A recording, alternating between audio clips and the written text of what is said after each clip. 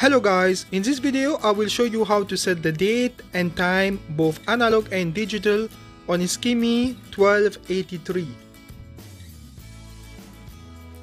The first step is to put the watch in the time mode by pressing the mode button few times until you see the day of the week on the screen. Press and hold the reset button for 2 seconds. The seconds will start blinking on the screen. Press the start button to reset the seconds to 0.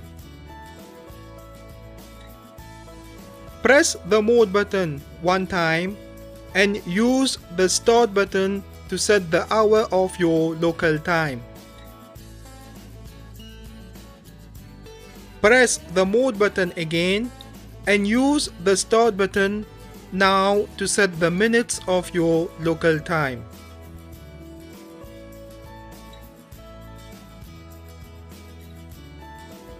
Press the mode button again and now you can set the year by pressing the start button.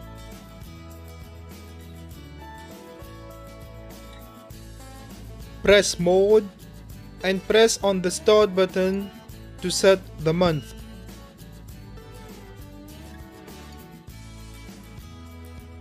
Press mode and now use the start button to set the date.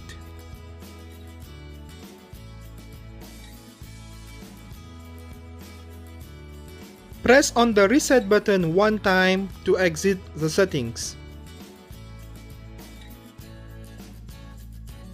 To set the time on the analog hands, pull the crown to position 1 and turn the crown to your desired time. You can set the same time as on the screen or a completely different dual time.